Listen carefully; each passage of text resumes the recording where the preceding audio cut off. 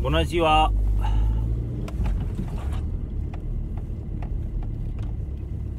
Bună ziua, am zis. Cum e vorba aia? Bună ziua, ți-am dat? Belea m-a încăp- mi-a încăpătat.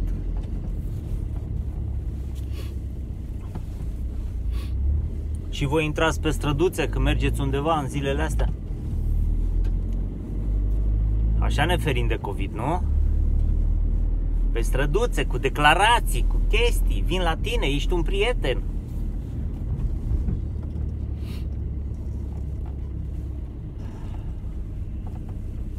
Nu știu, când văd atâta... Cum dracu să-i zic la chestia asta? Prostie? Ce ziceți de situația creată în București zilele astea? Adică 25 noiembrie. 25, 26 noiembrie. Ce, ce ziceți de situația asta? Știți de ce mi-e mie frică? Și nici atunci. Dar la ce, la ce mă duce gândul? Nu la situația care e acum. Faptul că nu închide Bucureștiu, dar a închis toate ieșirile. toate localitățile din Ilfov. Știi? N-a închis Bucureștiu. Bă, am închis Bucureștiu? Nu. Toată lumea uh, se sperie de faptul că o să fim închiși în casă. Și-au dat seama că n-am făcut decât să amânăm două luni alea care le-am stat în casă, n-am făcut altceva decât să amânăm imprevizibil. Care s-a și întâmplat. Adică n-ai nicio șansă să pui virusul ăsta deoparte. Bun. Dar situația care e acum, cum vi se pare? Să te oprească poliția să-ți dea amendă că te duci la cineva să-l ajuți, dar n-ai făcut cumpărăturile.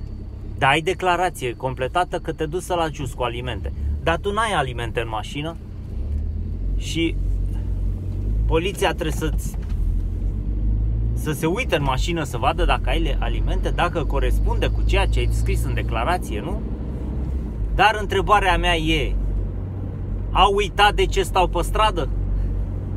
Că e vorba de un virus, de COVID. Unde te duci? Pe proprie răspundere, unde te duci? La cutărică. Cât stai? Nu știu, 3 ore. Dacă mă îmbăt, nu mai plec.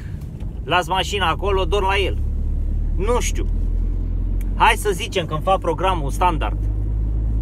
3 ore, da? Jur pe cea mai scump, jur pe COVID, că după 3 ore eu plec de la ăla și mă întorc acasă. Polițaiul care m-a controlat că mă duc la omul ăla și stau 3 ore, e același polițai care mă controlează când mă întorc de la ăla și vede că am stat 3 ore?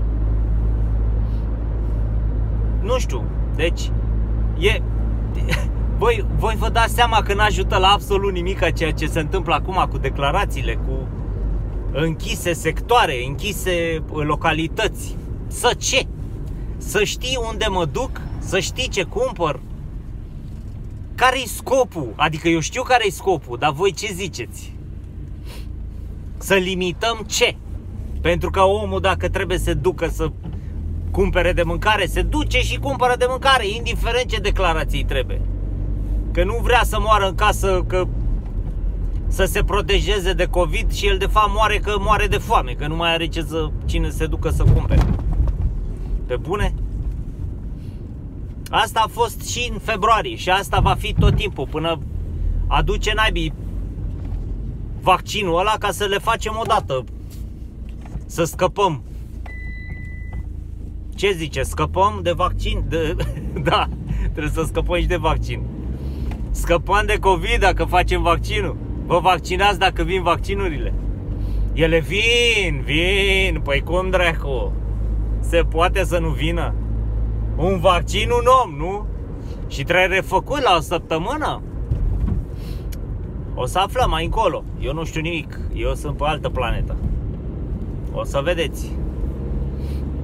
Că Noi ne-am îmbolnăvit de COVID, nu ei ne-au îmbolnăvit și trebuie să ne plătim vaccinele, nu? Nu va fi gratuit. Și dacă va fi gratuit, cu atât mai bine, hai să ne vaccinăm. Eu unul nu o să mă vaccinez și o să dau un scris pe proprie răspundere, o declarație specială că tot neamul meu, ăia, ăia care vor să se vaccineze, dar eu și familia mea nu ne vaccinăm cu niciun vaccin ce vine pentru COVID. Uh, dacă ar fi să ne vaccinăm și dacă aș fi să aleg să ne vaccinăm, m-aș vaccina undeva la vreo 2 ani, 3 ani după ce s-a făcut vaccinul COVID. Și atunci, fără sens, pentru că nu o să mai fie cine și nu o să mai aibă cum. E ca și cum aș vaccina acum de TBC. Da, da, dacă... Hai mă. E mai bine să ai virusul în tine decât în afara lui, nu? În afara ta, pardon. Sau tu în afara lui, tot aia e. Că e virusul în tine, că tu ești în virus, tot, tot infectat ești.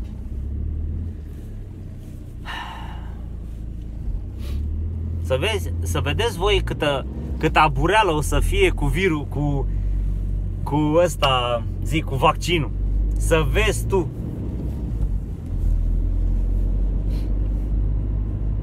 Toate vaccinurile care s-au descoperit vreodată și s-au făcut și care funcționează și la ora asta și au stârpit uh, boli uh, care în, acum 100 de ani erau mortale, uh, au fost descoperite în ani de zile și vaccinate generații întregi, nu acum, în bag siringa, nu mai am nici pe dracu, mă duc și bat cu e cu mâna goală.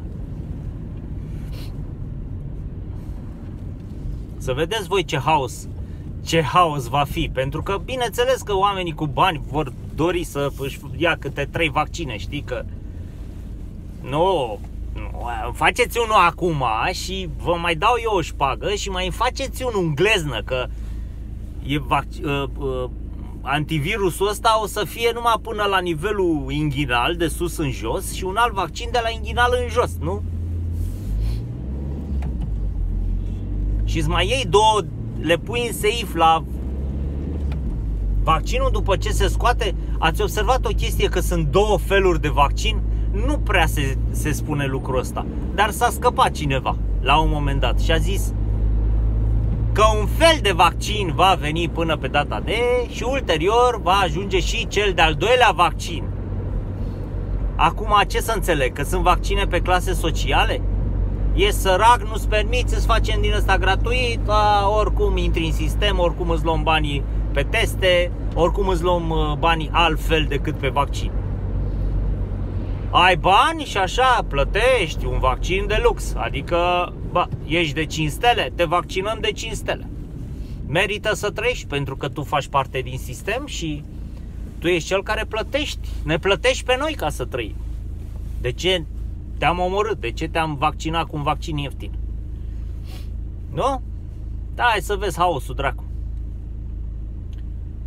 Cozi întregi. O să vedeți, cozi întregi să, să omoară între ei ca la tigăi, știi?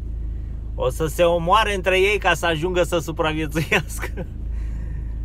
Cine își face vaccinul cât mai repede și asta până când?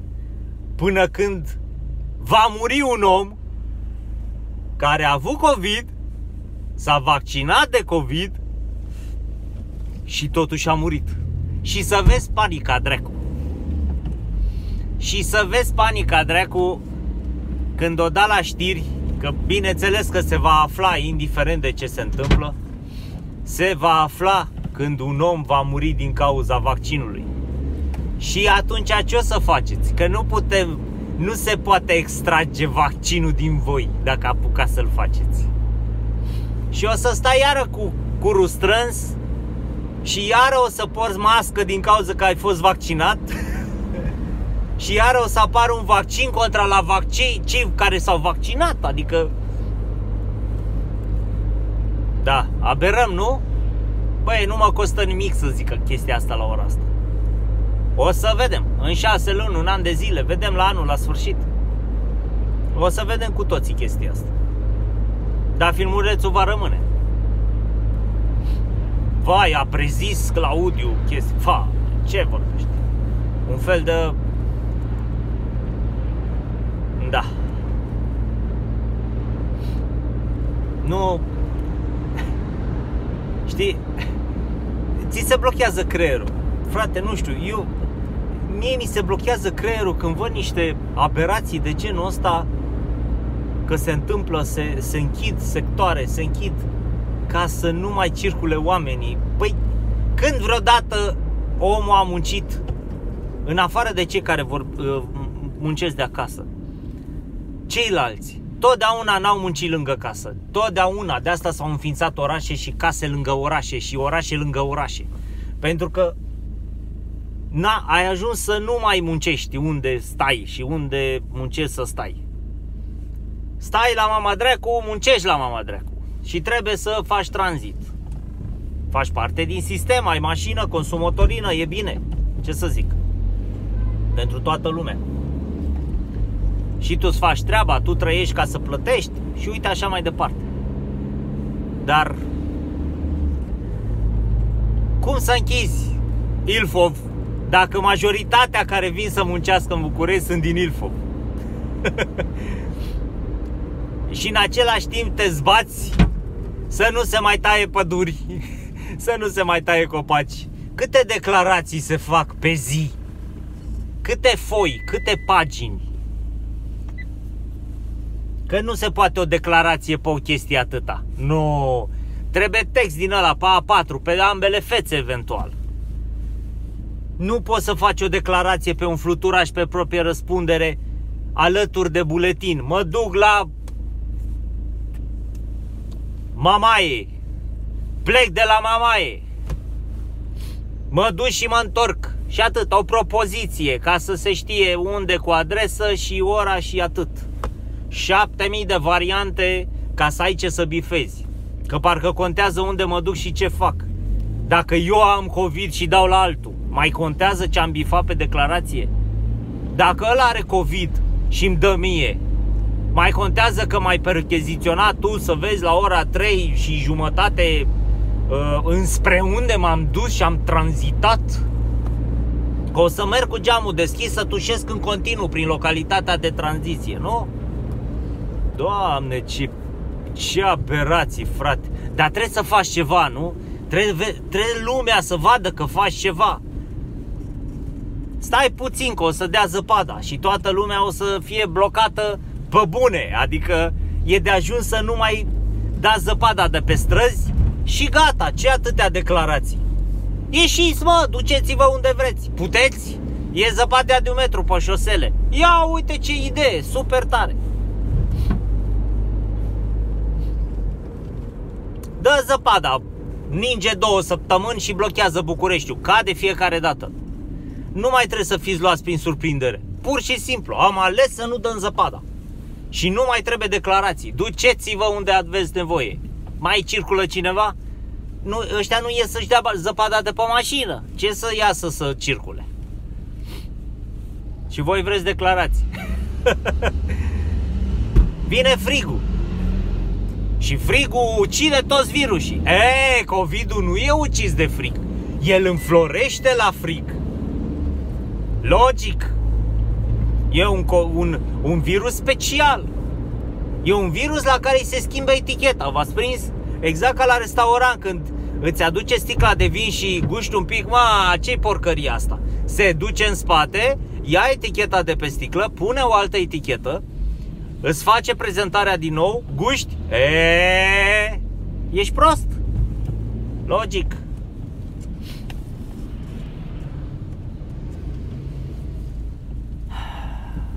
Căcatul ăsta de, de vălmășala asta și am prostia asta de a trece dintr-un sector în altul, dintr-o localitate în altul, să stai în alta, să stai cu frică. Bă, mă duc să-i duc carnea ca să aibă și la ce să mănânce. Ce căcat trec în declarații? Că nu e rudă cu mine, nu îi moare de trebuie să mă duc să-l spăl la cur. Ce trec în declarație? Mă duc să-i duc mâncare, pe ce trebuie să știe ăsta ce care eu în mașină, până la urmă ce căcat fac?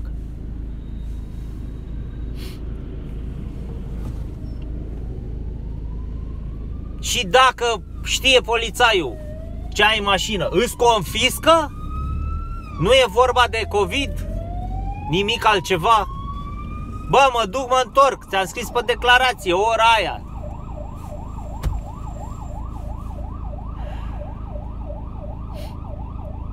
Păi dacă farmaciile s-au mulțit și prosperă, de ce dracu să nu prospere și amenziile, nu? De unde pui mei vin de sărbători? Cine mai încalcă, la, la cât s-au făcut amenziile de viteză? Cine mai încalcă viteză?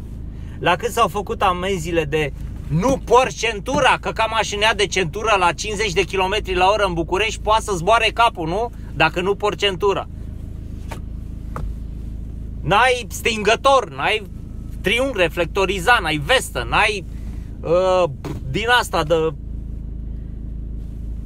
zi mă căcat din ăla de uh, borsetă de, cu spirit și cu toate căcaturile de prim ajutor. Prim ajutor pentru ce? Că dacă ți-a foc mașina arde cu tot cu aia. Dacă tu ești varză pe drum, nu vine nici dracu să-ți desfacă ție aia ca să-ți folosească spiritul pe ce răni ai tu pe tine orice căcat pus în plus ca să poată să mai taxeze, să mai fută amenziile, să le umfle și la cât a ajuns amenziile, nimeni nu mai greșește cu nimic. Pă bune, și atunci noi ce căcat murim? Ăștia care dau amenzi, ce facem? Băgăm declarații. La sfârșit de, de pandemie să se strângă toată glina aia, să te duci în glina să vezi câte declarații sunt și câte pagini s-au, s-au completat și tonere de imprimantă și curent și internet și toate chestiile care le plătești ca să-ți completezi declarație. Pentru că dacă n-ai internet și n-ai calculator, cum căcat fac? A, fac declarație de mână. Sunt prost, nu știu să scriu. Cum fac declarația? Mi-o completează altul. N-am pe nimeni, sunt singur. Atunci mor de COVID, dă-te dracu de prost. Nu? Asta e soluția. Am zis că nu mai vorbesc de COVID-ul ăsta, dacă când văd, frate, atâta prostie și susținerea prostiei, știi?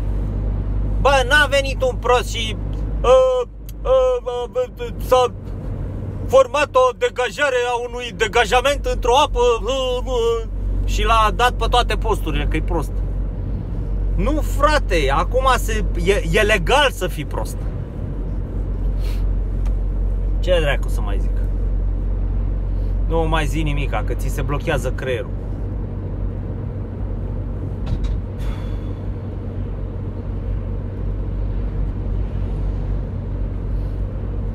Voi ce ziceți de situația care... Nu mai zic în țară.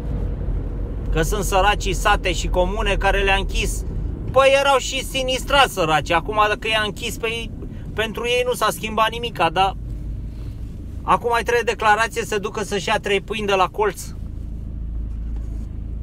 Pe bune, deci niște chestii din astea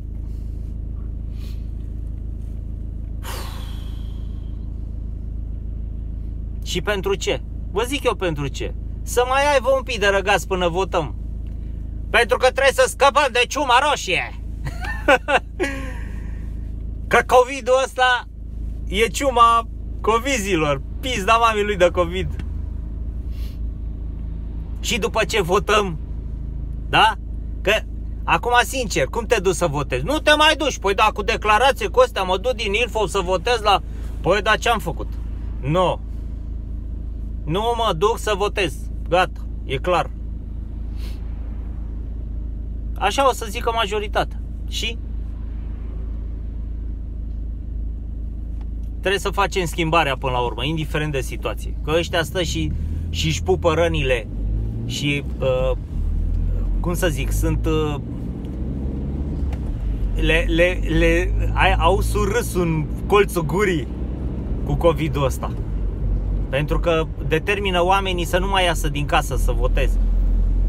Și dacă te duci să votezi, nu te duci primul să votezi, ca să fii primul care pui mâna pe ștampila aia.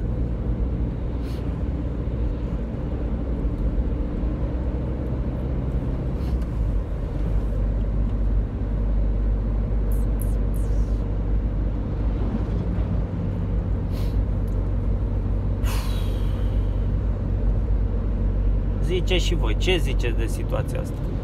Dacă se poate așa ceva.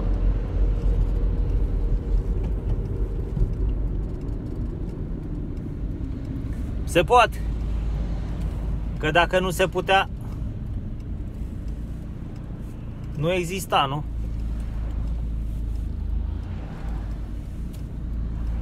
Da. Ne mai auzim.